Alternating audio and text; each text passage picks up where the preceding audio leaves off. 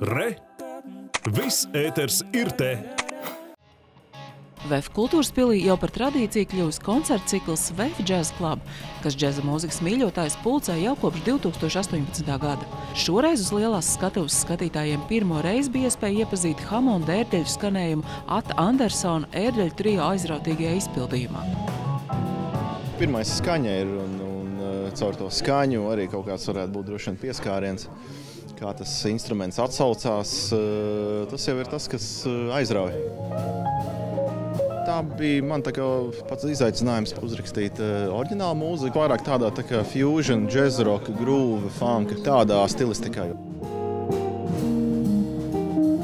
Koncertā ērdeļu trio galvenokārt izpildīja grupas vadītāja Ata Andersona skaņdarbus, kas tapuši pēdējo trīs gadu laikā un sarakstīti džezroka, funk un grūvu žanros. Ērģelis pašos pamatos izklausās episki, vai ne? E, Instruments, viņš jau ir, nu, uh, liels instruments. No ērģeles mēs aizmaz baznīcu, slavējam Dievu. Te ir ērģeles, tādas pašas ērģeles, tikai nu, kompaktās, mazās ar to, ar nu, plus mīnus to skanējumu. Protams, nevar salīdzināt tā, ka skan, eh, bet tā ideja, tas spirits ir šeit. Mūsu vienotā mūzika, kas, kas mūs uh, ved uz priekšu, vienota diskums un saspēle. Kāda kopīga ideja ar kopīgu mērķi?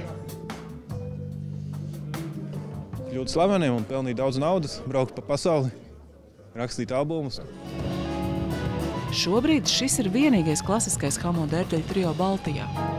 Nu, man liekas, ka tur ir tas jaunais Latvijas džeks, jo man liekas, ka šai nu, jau jāsaka, vidējai paudzē ir tā, tā sava skaņa, kas ir loģiski vairāk uz ziemeļiem vērsta, bet eh, tāpat laikā tur kaut kāda tradīcija laužās ārā. Nu, šajā gadījumā vairāk ir šī te, arī funka tradīcija no aizokeāna, jo Hamons it kā pieprasa tādu grūvu.